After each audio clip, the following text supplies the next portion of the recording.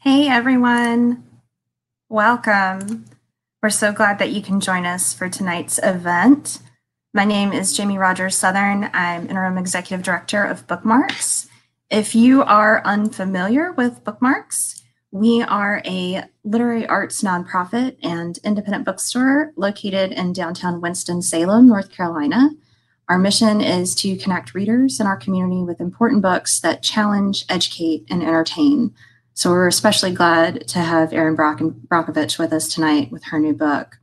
Before we start and I bring our guests on stage, I just want to mention a few things. If this is your first time doing an event on Crowdcast, you will notice a chat box at the bottom corner of the screen. Please use that to put any questions that you might have throughout the event for Erin, and we will get to those towards the end of the event. If you have any technical issues during the event, don't worry. The event is being recorded, so you can watch the replay following the event. Um, so no worries if you get cut off or if you have to leave early. Um, if you have not ordered Superman's Not Coming, I'm going to put the link in the chat box for you. You will definitely want to order it and read it after hearing Erin talk if you haven't already done so. So now I'm going to invite our guests up on the screen. First, um, Justin Catanoso is a North Carolina-based journalist, Wake Forest University educator, and Pulitzer Center grantee with more than 30 years of experience covering climate change, healthcare, science, economic development, and business. He's the winner of the Science and Society Award and North Carolina Press Association Award for Public Service for his coverage of fraud in the tobacco industry in the early 90s. After 13 years as founding executive editor of the Business Journal in Greensboro, North Carolina, Justin is now professor of journalism at Wake Forest University in Winston-Salem. And Erin Brockovich is the president of Brockovich Research and Consulting and the founder of the Erin Brockovich Foundation, a nonprofit organization created to educate and empower communities in their fight for clean water. She's the co author of Take It From Me Life's a Struggle, But You Can Win, and has her own show on Podcast One. Superman's Not Coming is a book that looks at our present situation with water and shows us how we can each take action to make changes in our cities, towns, and villages before it is too late. So please welcome from your homes, Justin and Erin. Hi, Justin. Hello, Erin. How there are you? you? are. I'm good. Hello. Hello, everybody. In North Hey, Carolina. everybody. So, can I just get that out of the way, like really quickly? So, everybody, this is an awesome book. It is extraordinarily well researched. It is thorough. It is clear. It is written for a general audience, um, and it is inspiring. Um, if you drink water, and you do, you should have a copy of this book. Okay. Can we get started? Thank you. That's a lot coming from you. You're welcome. All of your accolades and great work. Thank you. You're welcome. Okay, listen, we got two weeks, two weeks for election day. and uh, everybody take a deep breath. Um, in the last chapter of your book, Erin, um, uh, you write, quote, the biggest barrier to clean water in our country is not chemical, physical, or financial, it's political. We have a political campaign that we're wrapping up and we're going to have a big election in a couple weeks. What do you mean by that? Why, why is this all political? you know, I never like talking about politics, and I've n- never understood why politics are involved in water and politics are involved in water. And if you take a dive into the book, um, as much as I've never wanted to go there, I've had to really stop and say, the lack of transparency and the cover ups isn't even just of the chemical, but it's how the system works. It's just a continual kicking the can down the road. Yeah. And for the sake of money on the upfront, we have the ability to change water systems, repair infrastructures, but we always want to shortcut the system, cheat the system, and do it the cheaper way. And all of these things are set and can be changed by none other than policies, laws, regulations, policies. So this lands right on the desk of our leaders at you know, right in your own backyard, city council, and right at state level and federal level, how we're going to address a system that isn't working, that has had failures, that has total lack of transparency, that has major safety issues, and reform antiquated laws that have been on the books for 100 years, to reform policies that have been on the books for 100 years that do not apply or not applicable to our circumstances today. So it does lead you right into politics, and we have to change policies. And science is based on policies, and they do move based on policies or a law or what's not a law.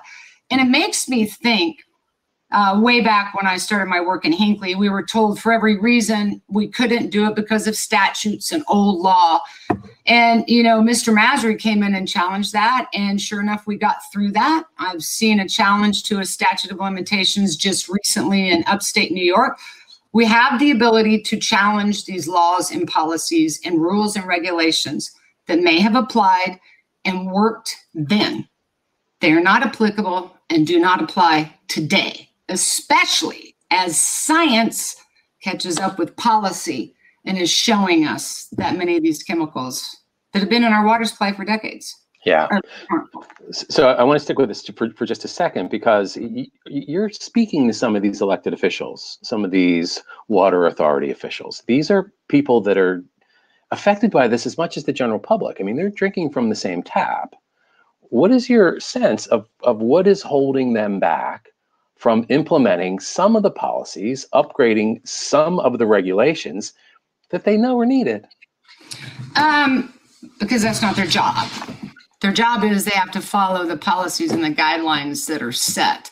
And oftentimes they don't challenge them. They'll go along with the status quo. So, you know, if you talk about Flint, Michigan, um, and we might get there, and the lead problems across the board, goes back to a policy, the lead and copper rule, that was written that says you only have to test for lead in your municipal system once every four years, and you can average the samples. okay. Even though we know how toxic lead is, like yes. no safe level. Yes. And so they just follow the guidelines. And that's the thing that we kind of share with you in the book, too, that can get a little daunting. Uh, it can be overwhelming. Your brain hurts. But even though we've set these guidelines, um, doesn't always deem that, in fact, it's safe. So, you know, the American Water Works Association, we're not their enemy. We're here to help and they put out a notice to be prepared about this book because I'm sure they don't want to start answering a bunch of questions. But water is complex. I've always said it's never a soundbite, it's a story. Uh, it's how we're treating water at the municipal level. Um, we're not following the Safe Drinking Water Act. We could get into that about chloramines, but they don't want to follow what we should be following a very Safe Drinking Water Act that states when you have problems and can't control your dirt in your system, you have to do the appropriate filtration system. Oftentimes they don't do that because they don't have the budget and they want to kick the can down the low, low, you know, road. So they'll add ammonia to the system because it's cheap. They think it's just as effective. But we've now created another entire Absolutely. situation within the water where we have a problem. So want, no, their job is to follow the rules I want to I want to step back for just a second because I am going to guess that a lot of people that are watching right now and, and that will see the recording of this know you from a movie that was um, came out 20 years ago. I watched it the other night. It's just as good as the first time I saw it. Um, but, but, there's a little bit of a double-edged sword of being like a celebrity, you know, and and and you are you you're famous, but you're not a celebrity. You have your own consulting firm. You have your own foundation tell us just briefly, like what is the foundation from which, and, and by that I mean literal foundation, from which you have your credibility to pursue these different um, challenges in communities across the country? What base are you operating from? Principal, uh, what I see, what I know is what I believe. 22, no, it's been 30 years on the ground. So let's start here when I began my work in Hinkley out in late 1991, 92.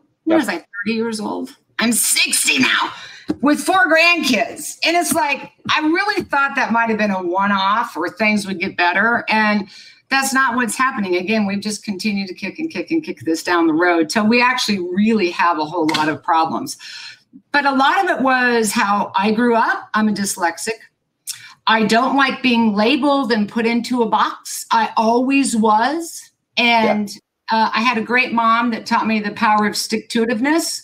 And that just because somebody else saw me as, you know, a loser, um, that was their opinion and their choice to perceive me that way, but it didn't have to be my choice. Um, and that just because I was different, I wasn't inferior. So from a very early age, I've been judged, labeled, perceived, put in a box, stay in the status quo, and that's always irritated me. Just, just has. Yeah. I had a dad that was an engineer. He ran the pipelines for Citigroup. Hmm. And he always taught me the value of water, the value of land, the value of health. He used to sing me songs. Love the water trickling down the stream. Enjoy it today, for someday it might not be seen. I often wonder what he knew, but all of that when I went to Hinkley became very familiar to me. I saw a community that was uh, not getting information, they were being suppressed, they were being labeled hysterical mothers. Uh, I was told you're not a doctor, you're not a lawyer, you're not a scientist. What do you know? And I said, Well, let me tell you what I do know.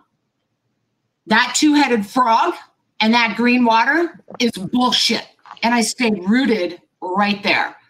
And then for the rest of my career, I've just seen the same scenario play itself out over and over and over again in every single community. So I'm there, I'm a foot soldier, I'm on the ground. I know the people, I, I, understand where they're coming from. I know reports, reports that have been redacted. We know that there's a chemical, and it just becomes a whole clusterfuck situation. Sorry, I had to say that. No, I'm really glad you did. We got it out of the way early. I'm glad you did. So so you have your own consulting firm now. Do you have employees? I mean, do you have a staff? I mean, do you have like an army that's out there sort of moving across the country, checking in on these complaints that are coming your way? Well, they do. So a lot of these groups are very activated. So I work with Robert Bowcock a lot. So yeah. he and I are on um, on the same page. And if I'm gone, he'll get out there or I'll get out there. Like when Flint happened, I was in Australia. So I got the email and I was like, uh, no, this doesn't seem right. So I got it over to him, and he got there uh, again the next day. And this was a year before Flint became what it was. I am involved in communities where there is litigation. And so that entire staff, uh, I'm a part of that staff, or they're a part of my staff. We all work together. And then many times these communities begin to organize, and they do. They kind of figure out their own head person and then oftentimes they'll they'll check back in with me or if we have to go out there we will. So it's a it's a moving staff um, and people and there's never an i ever. It's always a we. So there's always a group of us that will begin to tackle a situation. We get them stable and in a position where either the lawsuits are going to happen they become extremely organized they begin to do things for themselves and then we will move to the next community. So I'm a foot soldier. I'm on the ground. And you're dealing with one of the most ubiquitous substances that we have, one of the most necessary, if not the most necessary substance that we need for our own health. Uh, we consume uh, uh, uh apparently upwards of 100 gallons of water a day, either in bathing or cooking or drinking. And we don't know anything about what's in it. We assume it's safe and so, Erin, it, it help help us sort of put this into some context. When you look across the spectrum, looking at your, you know all your research, how many of us have been exposed to dangerous substances? How many in our own water, in our kitchens, in our bathrooms, wherever? How many of us are uh, have been at risk or are at risk for unsafe water as we sit here now? Um, potentially all of us. Uh, different chemicals, different ways to treat the water, low levels, significant levels. Uh, you know, we'll get into the whole PFOA thing, but there was just an article that we put up and a study done uh, on my public Facebook page that about 200 million Americans will be having drank or will drink um, high levels of this one chemical. That's what? almost all of us. Right? And it's like, what the? I, I said, see, I told you, got to watch my mouth. So it's like, what? But yet we take no action and we're doing nothing. But yet, you know, oftentimes when i'll speak up about it, it's like, oh, no, she's crazy. That's not going to happen. You know, we wouldn't possibly do that. So, you know, the whole system has been eroded. And so if we're going to talk about water for a minute, because we have several situations in where we can be poisoned from water and don't think bacteria aren't deadly because they are so we have chemicals. But let's take water 101. So most of our water comes from rivers, creeks, streams, and tributaries. Yep. We do have locations throughout the United States where we have aquifers. Now, LA, Southern Municipal Water District, had a really good backup, battery backup aquifer. Uh, but that went to hell in a handbag because they can't use it anymore. It's so polluted. So most of water is river, creeks, and tributaries. Water has organic matter in it, and that is simply dirt. Right. So when the water comes into your municipal system, they need to clean the dirt, right? So they're going to add chlorine because we don't want a bunch of bacteriological E. coli outbreaks, correct? Exactly. What most people don't know is that when chlorination and organic matter meet, it creates a toxic compound called hmm. trihalomethanes. So TTHMs and THMs, you'll see us talk about that in the book. And the Safe Drinking Water Act specifically states, and if we would just follow the Safe Drinking Water Act, we'd be a whole lot better off. But we don't. We like to take the shortcut and we like to go the cheap route. But it states if you can't control your trihalomethanes, which is basically dirt in your system, you have to put on the appropriate filtration. But oftentimes we don't do that. Hence, we've got the big problem with chloramines, which is adding ammonia to the system. Well, let me tell you something. If we would just stop that act, here's what we would do we would have less Legionnaire outbreaks across the country, which we are, and that's a deadly bacteria. Make no mistake about it. Legionnaire is a waterborne disease we would have less braining amoeba outbreaks, which we saw about two years ago. And a young 14 year old boy died in Louisiana. And we just had a six year old boy die of it in Texas. And we would also have less lead contamination. So, what happens when we add ammonia to the system? We have to understand you're adding and taking away a whole lot of chemicals within the water. Isn't our job to have less chemicals in our water? But we continue to mix and add more. And if we don't do it right, we have problems. So ammonia sequesters the effectiveness of chlorination. Guess what happens if you don't chlorinate effectively and you don't get it down the line?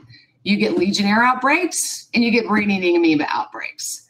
So and it, it also causes in the distribution system, the water becomes corrosive. You get biofouling. And if you've got lead pipes, guess what happens?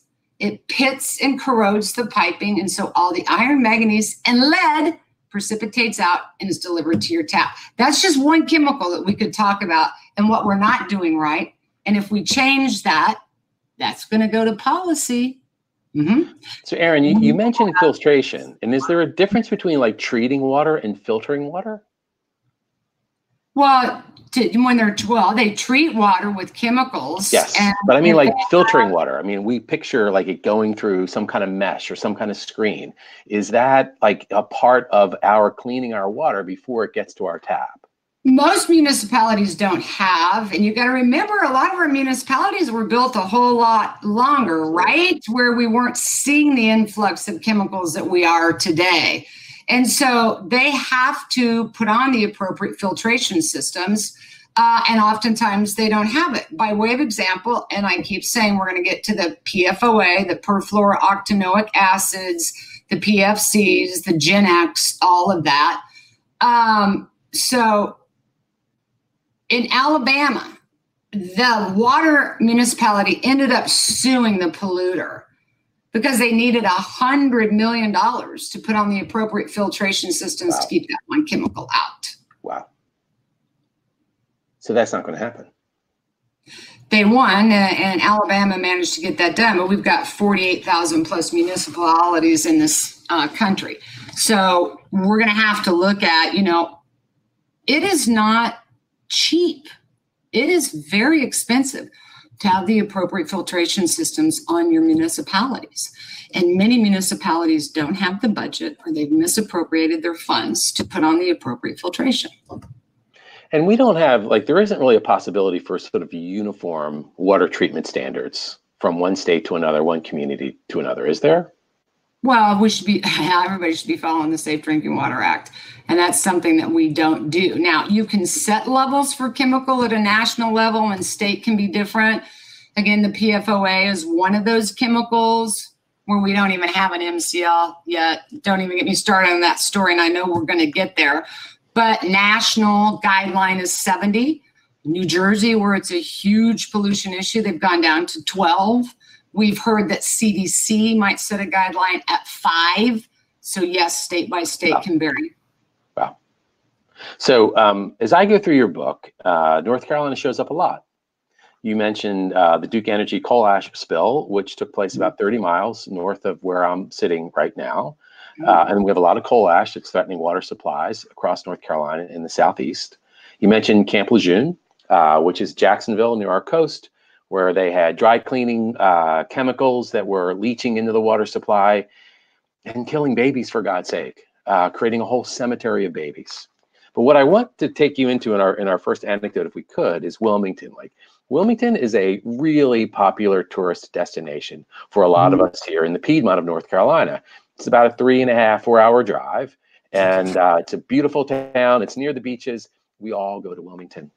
They have been wrestling with their water quality, as most of us don't know or have any idea of, for years. Tell us about Wilmington. So, Wilmington is a beautiful place. And many years ago, and it wasn't that many years ago, God, I don't know if I want to say five. Uh, thanks to COVID, I'm in a rabbit hole. I'm really like not sure what day, what possible year it is or what year I did that. Normally, I'm really good at that, but so forgive me. But we got called because they had a big water pollution down there with a chemical called Gen X. And Gen X uh, was a successor to PFOA. It was this isn't funny. And I think when I get frustrated, you'll hear that laugh. It was deemed to be safer than the PFOA, perfluorooctanoic acid. It took me a year to learn how to pronounce that correctly. And I'm like, I don't give a fuck. It's a poison. Okay, let's keep going. So, um, and it is. And you would know it as Teflon. Okay. So we came out to that area because this now safer chemical um, was getting out of the bag. It was getting in the river. It was causing water issues. And most importantly, and why I got called in, the community was experiencing health effects and they were very concerned. And so we're still dealing with Wilmington, North Carolina. This is interesting to me. And maybe this is where I talk about the PFOA. Okay. Because this is exactly how the system works. I'm going to do my best to explain this. Let's start with PFOA and PFOS, which are part of the PFC, which is a fluorinated chemical family group. And it's, it's about 3,000 different chemicals all made up into one. The PFOA is Teflon. The PFOS is firefighting foam, Scotchgard. It would just be in everything we use. 30 years ago, 3M, DuPont, you know, they had documents, they had science, they notified the EPA. This is kind of a bad chemical, so keep your eye on it in water. It's more than bad. It, it's it's almost impossible to remove it from the environment. So, so, how is it, so how is it getting into the water? These these are plants that are operating near bodies of water and they're dumping one of our biggest sources for the firefighting foam contamination is our Department of Defense. Okay. And uh, PFOA is um, chemical manufacturers. They use it in numerous processes. And, you know, the $64,000 question is really what do we do with all our waste? Oftentimes it gets dumped into rivers, creeks, and tributaries and flows down the river and gets sucked up into the municipalities. Okay. So, what happened with this one chemical the EPA gets notice and they're like, okay, so we'll set a guideline. A guideline based on what science? They didn't have any, but they set a guideline at 400 parts per trillion. So then they go to commission a study. And those are very expensive. So if the EPA is not being funded, you know, they can only pick a few chemicals a year to study out of the tens of thousands that get into the marketplace. So they set out to do a study. They set a guideline at 400 parts per trillion, and the municipalities could run this chemical through their system up to 400 parts per trillion. Life goes on, right? For 25, 28, 30 years. Until about four or five years ago, science caught up with policy. The study was complete. In Houston, we have a problem. This chemical causes cancer and numerous diseases. What? Well, that shocks me. You put a poison in the water and you're just gonna, you're surprised that it caused problems. So now the EPA moves to set the guideline from 400 parts per trillion to 70 parts per trillion. So, for feasibility reasons, the municipalities across the country are like, wait, what? We don't have the money to put on the appropriate filtration to bring it down to that level. You said we could run it up to 400 parts per trillion in our system. Can I stop you for a second? Isn't somebody putting this shit into the water? Like, shouldn't we start at the source and say, stop dumping Gen X into the water 100 miles from Wilmington? Yeah. Here's what you should do the system is ass backwards. You want to talk about politics and policies? The EPA should require these chemical companies to admit, submit a study first before you ever put it into the marketplace and it gets into our water supply. Really?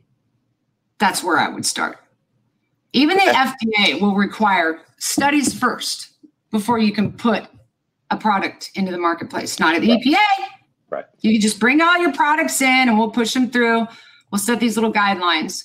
So this is what happened with the PFOA. Now, what's interesting to me with Gen X, think about how I just said the PFOA started, how long it mm. took to do the science. Science catches up with policy. You know, you're still not getting a lot of answers on Gen X, and this story isn't over yet because they're first of all ask about appropriate filtration systems for Gen X to keep it out. Well, there's not enough information yet to conclude what particular filtration will keep it out. And there certainly isn't enough, enough information to conclude about health issues. This is just another scenario of PFOA playing itself out again. And we're going to go along with the exact same thing and wait for the studies only to conclude down the road shit, we're wrong because science lags behind policies. So this was actually something that our governor, who is a Democrat, uh, Roy Cooper, he's running for reelection right now, um, became aware of.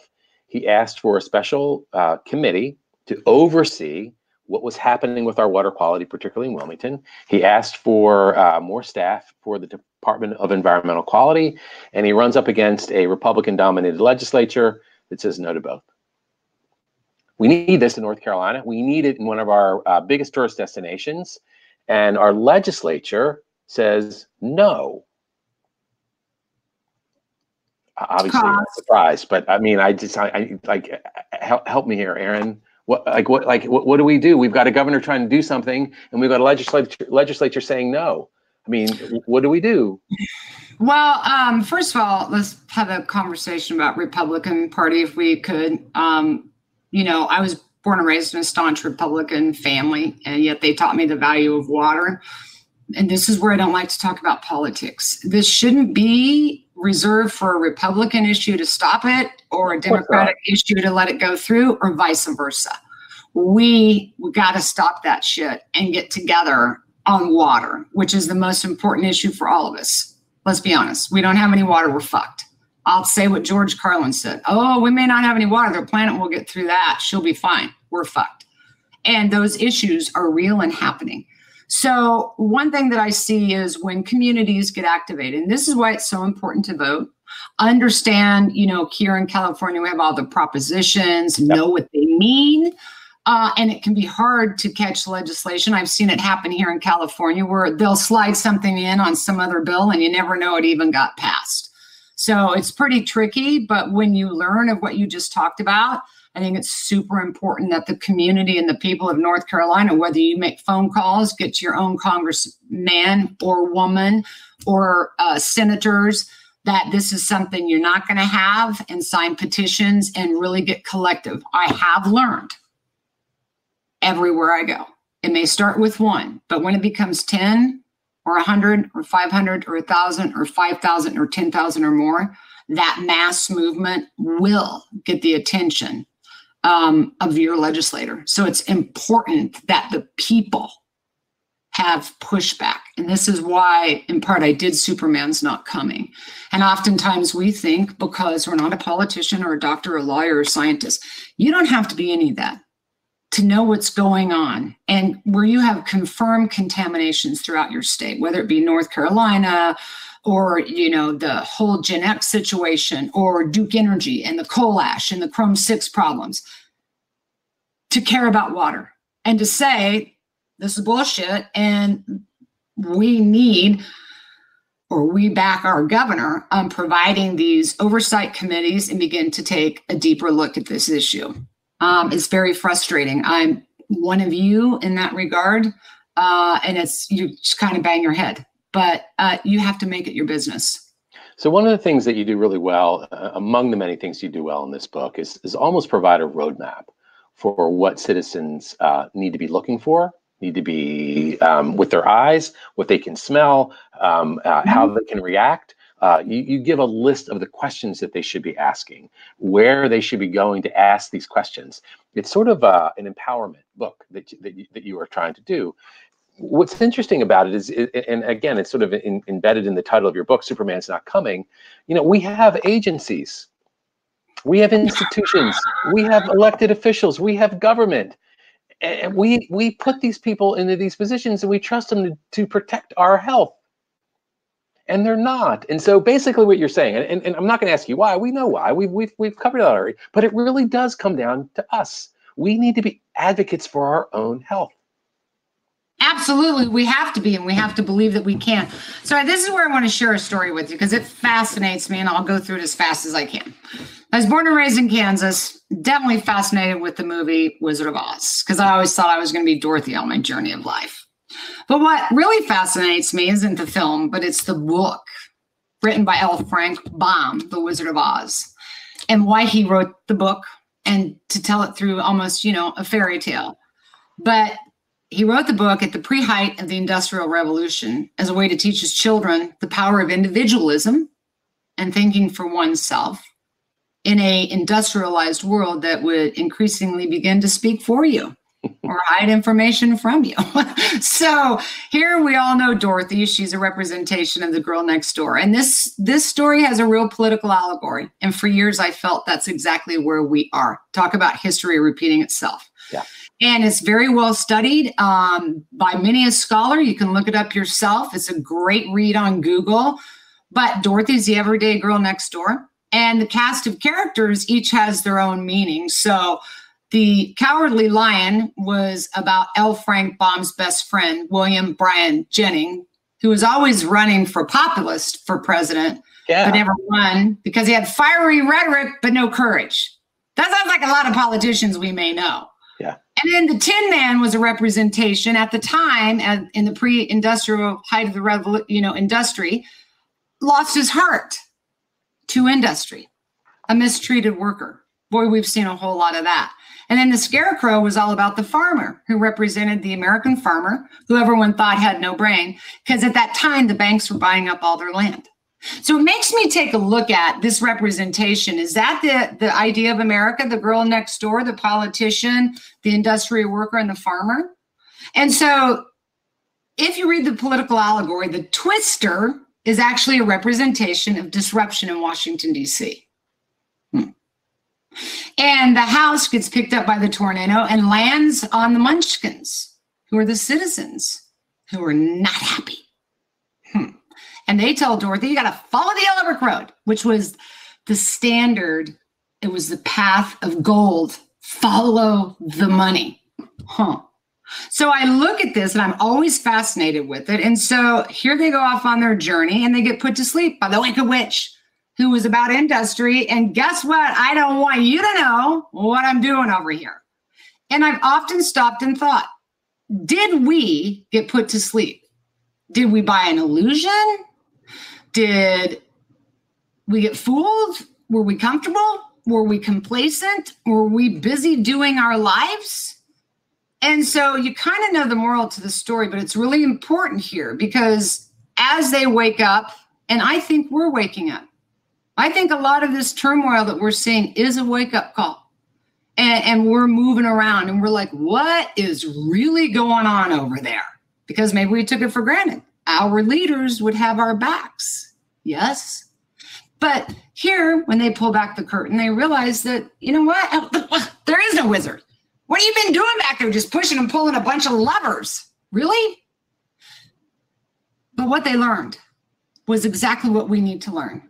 They had forgotten or been told you don't have a brain, you don't have the heart, you certainly don't have the courage to stand up. But the moral of that story is they did, and they found their way back.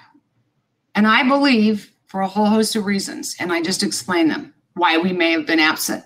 But I also believe we're here, we're waking up, and we need to realize we've underestimated the power of us for a very long time. You've got a brain, you don't need a PhD to care about water or to look something up or to educate yourself on an issue. Find that courage again. And oftentimes we're afraid to speak out because you're you're ridiculed or shamed or you know nobody wants to be the first person to raise their hand in a class and get the answer wrong right? And follow your heart we've forgotten these things and i think they're coming back in our face really strong. And i, I want to share that story because i want people to know and i think there's a whole host of reasons we don't always speak up. Yes you can and i think we're in a moment in time where we must. Erin, you learned that in Hinkley. You learned that with the first people that you went to and they said yeah but but PG&E they told us that that chromium stuff was good for us. And the little girls are swimming in the backyard and they believed them. And so it wasn't until dorothy entered their life and shook them out of the but said, it didn't no. make sense to me. It didn't make sense to me. And I think that frustrates all of us because we see a lot of things that just don't make sense to us because we want to believe it is a sock in our gut to possibly imagine over decades a system that's eroded that our leaders are who we thought wouldn't have our back. It takes a moment to kind of wait a minute, what's going on? And and that is part of, you know, we even say in the book, the nine steps is separating fact from fiction and or deception. So you can make better informed decisions what's going to be right for you and the health and welfare of your family and community.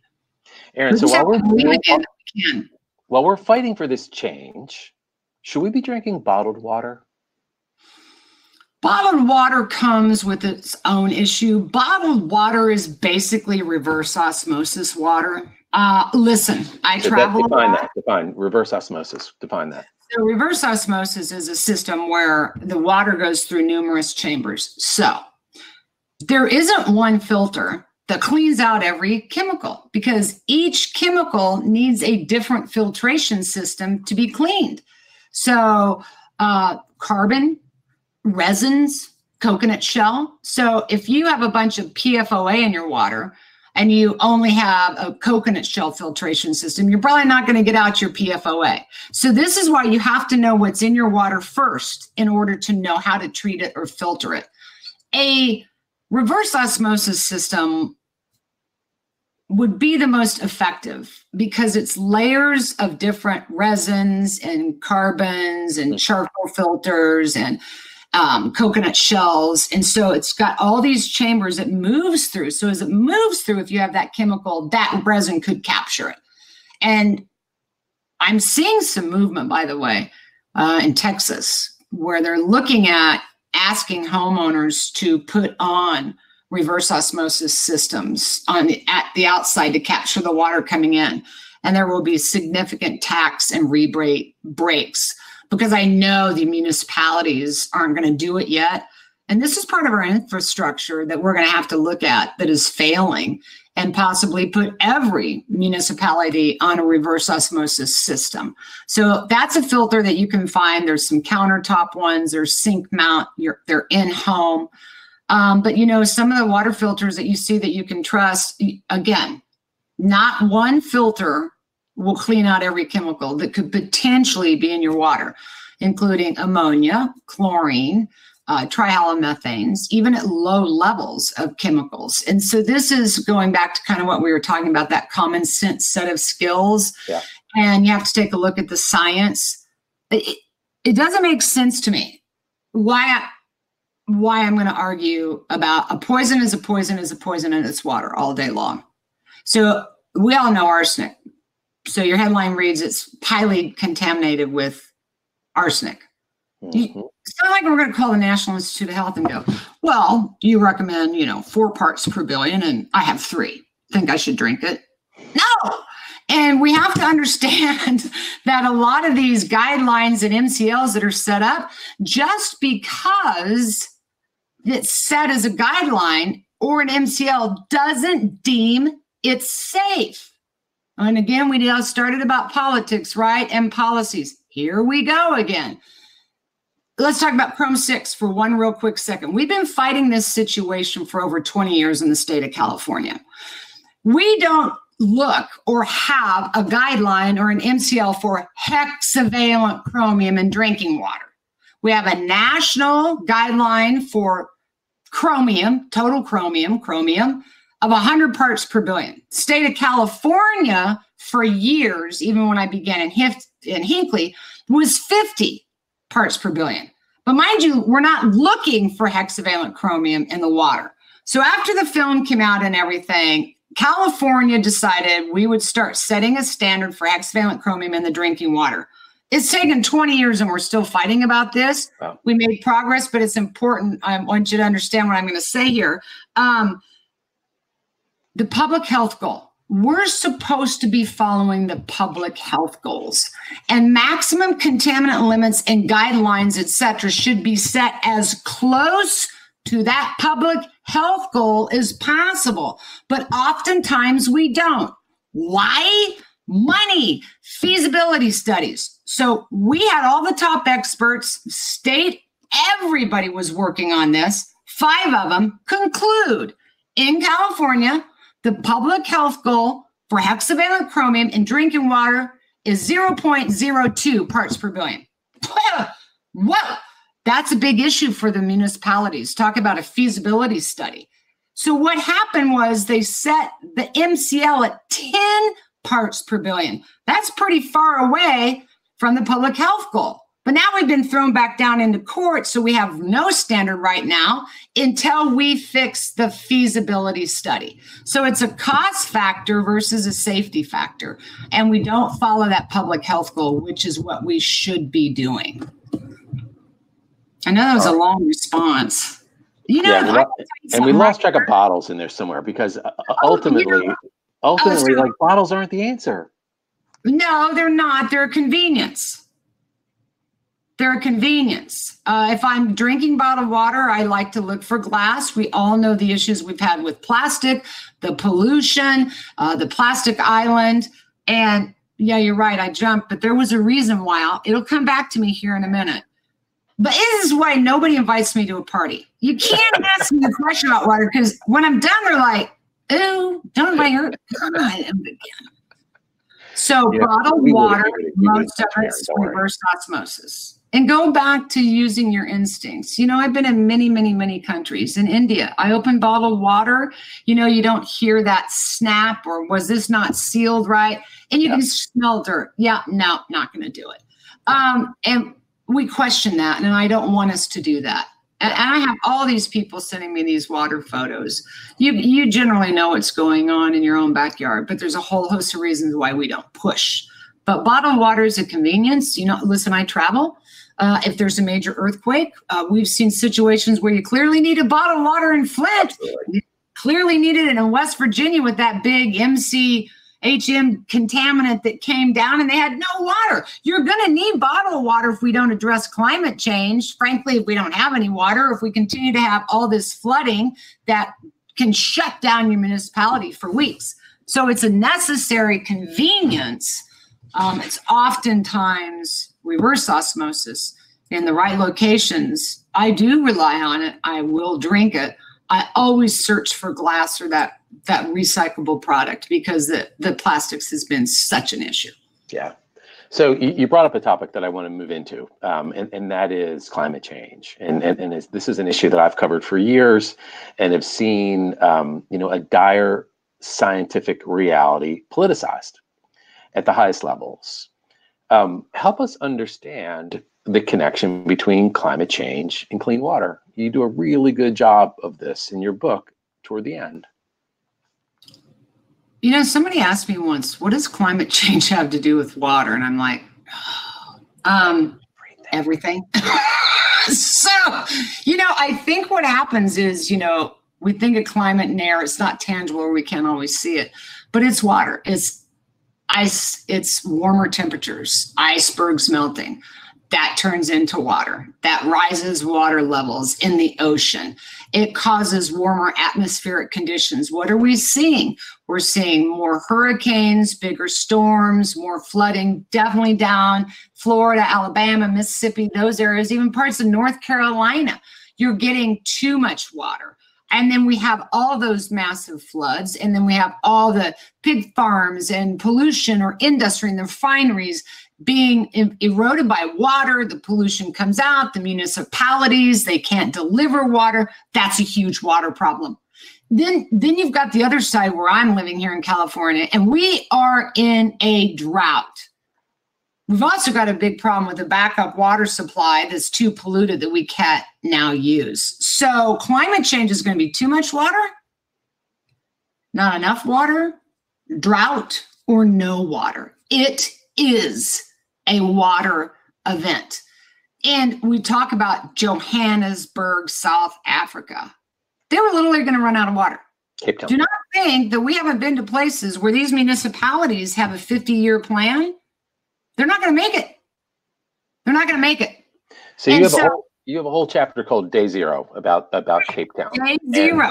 And, and how like just because we're not hearing about Cape Town anymore doesn't mean that Cape Town is out of the woods when it comes to water. Where where where are they now? This is a major cosmopolitan city, one of the richest cities on the continent of Africa. Because they were doing something, and they will always be aware that this could happen to them again. Then they diverted the disaster. Do you know why? Because they worked together, they planned together, they rationed together. The people worked with the government together and they prepared for day zero. And because they were prepared, they were able to divert day zero. That is the one thing we won't do here. We won't even acknowledge necessarily climate change. We're clearly not working together or changing any policies to help us divert what could be an inevitable disaster. Why? and it is about preparedness and it is about that moment where we have to coordinate together and there is a storm approaching and I want, to, I, want, I want to drill down a little bit more on, on Cape Town because what they did, they were down to like 13 gallons per person per day, yes. yes. which was nothing. Yes. So, so how did they get a population as large as Cape Town to go along with that? Or didn't they give them a choice? Was it just sort of regulated? This is what we've got if we're going to get through this. They didn't, and the people, um, you know, they they I think they understood water. I think they understood what it meant not to have water. I think that maybe we've taken it for granted and many places in the world have and they haven't always had that luxury. There's many places that don't. So they knew they were able to ration their water. They had already been living in some situations with less of it and it was total cooperation. And they would rather have that small amount and ration it willingly if in fact it was going to keep the water coming. And that's what they did. And they were rationed down to very little. And, and we we were very comfortable in this country with you know our sources of water and always assuming that it'll be available for us. But that isn't always true, especially if we don't look at beneath that rock and what might really be happening. So, this community for me was a perfect example of the collective and the understanding that I'd rather have less now so I can have it in the future and working together and governments moving as good leaders.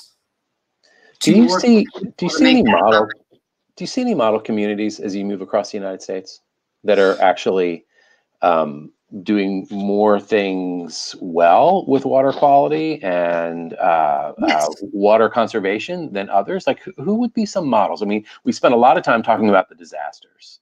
Um, where are you seeing the heroes? Where, where are you seeing the communities that we can point to and say, we've got to do more like them? Uh, Poughkeepsie, upstate New York, is a perfect example. Their water operator, Randy, so they were switching over to the ammonia, which we call chloramines. And he did the power of observation. A, he understood his water customer, he understood his water. So when he turned on the uh, ammonia feed within days, his observation was, huh, everyone's calling me. What's wrong with water? What's that smell? It's kind of like burning my skin. My eyes burn. What's going on? So he noticed for quite some time this was happening. And then he's like, What have I done differently? What's happened to the water? You know, asking questions, getting curious. These are the things that we actually talk to you about in the book. So he goes, Oh, I turned on the ammonia feed. He turned it off. That's what happened. Calls stopped. Long story short, his upper management came in and said, you need to turn that, you know, ammonia feed back on. And the whole process began again. But what they learned beyond even the people being harmed is that it was deteriorating their distribution system. And they've had to completely replace their system. They won't be using ammonia again. That is a water operator that made his job his job and listen to the people. I I don't know why we don't listen to people you know, even in Hinkley, nobody listened to him. For me, it's like, it doesn't make sense that 600 people are making up the same story. It just doesn't make sense as a water raper. Why are you all calling me? What happened? Everything was fine. To make it your business to find out what's going on. The ladies of Hannibal, we talk about them and they, they stick out for me. Uh, they had lead levels as high as Flint. And Flint switched river waters, can't do that. And in Hannibal, they had the lead contamination because of all the adding of ammonia. So a group of moms made it their business. What is this? We went out there and taught them about it. They studied it. They asked questions. They got curious. They said, I'm not going to have this. I don't want my children poisoned by lead. And as they got stronger and stronger, they began to inform and educate the community. They'd have community meetings, they'd have events. And over time, they were pretty strong about their position on no ammonia. So one of the moms ran for city council and she won. And she did a referendum and they changed the law and put it out to vote to the community ammonia, yes or no. Everyone said no, because now they knew what was going on. And then the state got into a litigation with them, but they persevered. They had that stick to itiveness. And I'm happy to report to you, as of March this 2020, Hannibal, Missouri because of those women, because of that community, because of raising a concern and understanding it, have lead free water. So, is ammonia something that is optional for water treatment? Yes, you don't have to be adding ammonia. Again, we'll go back to the Safe Drinking Water Act and the trihalomethanes that are created by adding chlorine and organic matter. If you can't control the dirt, you've got to do the appropriate filtration system. And so they've chosen ammonia because it's a shortcut and it's cheaper. It's more cost effective than following the Safe Drinking Water Act. And that's what we need to do. You know, we have these regulations here, or uh, Safe Drinking Water Act, for a reason. Uh, now, there could always be something within it, like the lead and copper rule and those things that you can change and reform. Um, but we've got to get busy recognizing we're still relying on an antiquated system, laws, policies, and infrastructure from a really long time ago. We're just a way bigger population, way more industry. You know, these chemicals in water, um, latency periods happens with you can get exposed to some of these chemicals and not see an effect for 15, 20 years. You know, they can get hidden. I don't want to get into the science, and we could. I talk about that in the story where science can be bought and paid for. And Absolutely. science has a way to hide numbers. And that's where we can really get into some trouble. Do you see communities willing to spend the money necessary um, to have the filtration systems and have the up to date uh, water infrastructure so that their communities are safe. And by that, I mean voting for their own tax increases through bond issues. Do you see communities willing to pay for that rather than just be up in arms and complain and say, fix this? They are when they understand what's happened. Um, they do get frustrated, and we do have to look at that. There are municipalities who misappropriate their money, and instead of doing the filtration system, you know, they'll go build a ball field. That does make any one of us mad.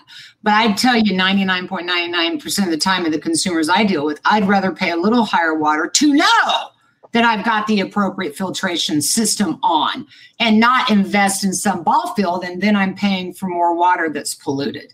So you do see, again, this is the wake up where I think enough patterns have happened for all of us over and over and over and over again that we're like, uh uh-uh, uh, something's not going on. And this is where we, the people, you know, I think We've been underestimated. Don't underestimate yourself. This is really a moment. This isn't a, a joke. I'm not just a chicken little's, you know, to fall out of the sky. I've been across this country. It's communities across this country. It's a plethora of them writing and emailing and the photos that we can put all of this together in the book to show you. This is where we're going to need to go. And that is, again, make it your job, make it your business, and understand this doesn't have to come down from the top. Yes, they've got their guidelines. They don't follow them. Right now, the current administration is making some bad rollbacks, and we don't even need more regulations, but we need greater enforcement of some of the great regulations that are already in place. Absolutely. But we don't want to do that. Erin, we just have a, a minute or two left and uh, we we have covered a lot of ground. This has been uh, technical. It has been personal. Uh, it's been impassioned. It's been all those things. It's been great. You a headache. Um, I have a headache now. serious. You've been at this a long time, and, and and sometimes I think it's like you know you see one step forward, and you might see three, four, five steps back. You as do. I cover climate change, I, I I I'm not giving up hope, but man, it's really hard to not give it up is. hope. So as, know, as we wrap up, I, I, I want to ask you how do you maintain hope? And um, and what is your message for those of us out here that are willing to fight the battle that you are urging us to fight? Uh, we need to do it. I, you know, to the day I die, I will always believe the seal by the people, for the people, we the people. I don't know if we, the people, have forgotten about us, the people. And so much of this is about um, finding that strength, that courage. Uh, you know what? When I feel down, I'll think of Dorothy again. I hear my mom in stick to itiveness. Um, I see communities underestimated. I see them rise, and that for me is very inspirational. And something I I think we become disconnected from our environment, and we have to understand the environment is us, and we are the environment. Absolutely. Um, you know, it's just like the Rachel Carson who in 1960 wrote this, 1963 to be exact, and it's the, at the beginning of my book. I'm a I'm a great admirer she was talking about this in the 60s. Hello, yeah. people, it's still 2020, and we're having this conversation. We talk about in the 60s when the Cuyahoga River in Ohio was on fire. Has much gotten better? What have we been doing? But she says something, and I have it right here, and it's, I go back to it all the time. Man's attitude toward nature is today critically important simply because we have now acquired a fateful power to alter and destroy nature. But man is a part of nature, and his war against nature is inevitably a war against himself.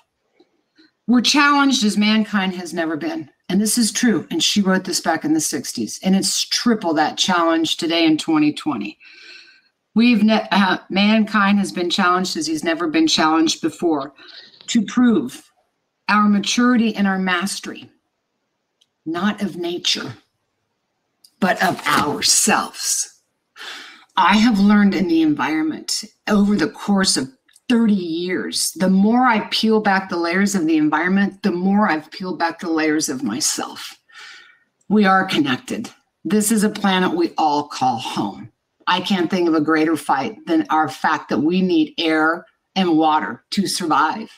And I find my inspiration in the environment. You know, we're what, 73% water, the brain's 93%, the heart and organs 83%. Think about the resiliency of water. Yeah, I just said we're water, right? And you watch water carve hills and valleys. Well, we're water. We should be able to carve our way through some of these policies and system that didn't deliberately fail, but failed and over time was corrupt and eroded. And I think about water has the power to erode and transform coastal landforms. So when I see it, if I'm water, I can be that. And I think we've disconnected. And because we are, we're lost. We need to connect again. The one thing that every single one of us on this planet knows we are water, we need water, we can't afford to not have water. It's game over for all of us. And speaking of games, think of it like the Super Bowl, okay? So you know before you get into that game, there's going to be a lot of tension. You're going to get knocked around, right? So you go out there, you catch the ball, you run a little, and you get shoved back 30 yards. You don't like throw your ball down on the field and walk off. We'd be going, what are you doing? Pick the ball back up. Understand we can get knocked around and pushed down. But here's what I want us to understand. Okay, so what you got knocked down? So what you failed? So what? You may not have a master's degree or PhD. That doesn't mean you're not human and that you can't have the courage and the determination and the persistence and the heart to get up and pick up that ball and fight for your life like the rest of us are for the value of water and our environment. You might be surprised you're going to rush 100 yards and make a goal. Erin Brockovich, it is a delight to have you with us here oh, in the Piedmont of North Carolina. Uh, you have written a great book that we need at this time. Uh, it is timely to be talking about it two weeks before the election. Thank you for sharing your time, your expertise, and your passion with us. And uh, for bookmarks, that is our program. Thank you. Thank you so much. Be well, North Carolina. You got a great, beautiful state and a lot of, a lot of land and a lot of water to protect, love, and I think you can do it. Get in there and fight for it, man. We do have to fight for it. All right. Back fun. to you, Jamie. It's fun. It was fun. Thank you. Hope to